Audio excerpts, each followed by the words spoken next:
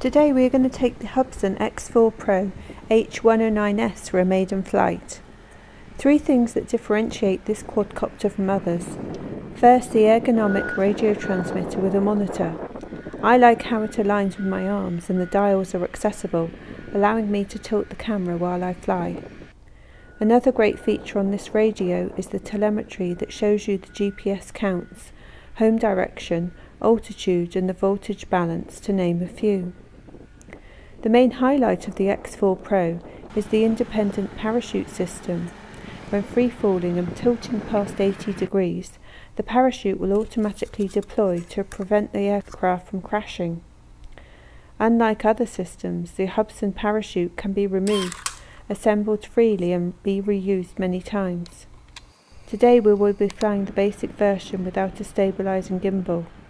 The flight footage captures what you will get out of the box before any modifications. I have included the links below for the next episodes where we add a G2D gimbal. But for now, let's take the Hubsan X4 Pro for its maiden flight.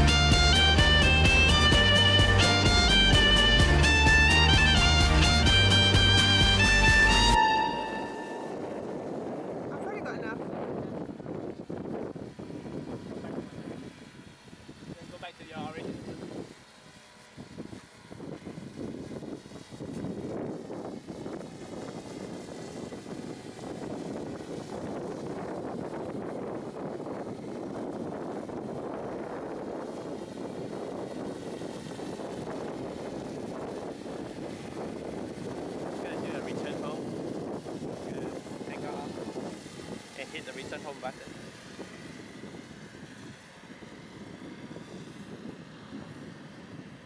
Okay, we turn home.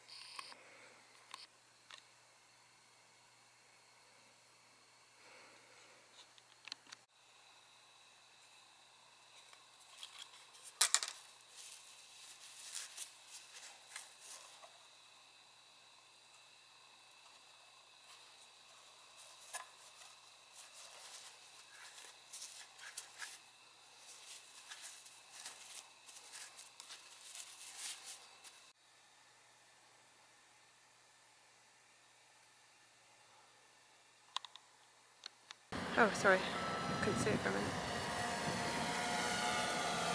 Landing.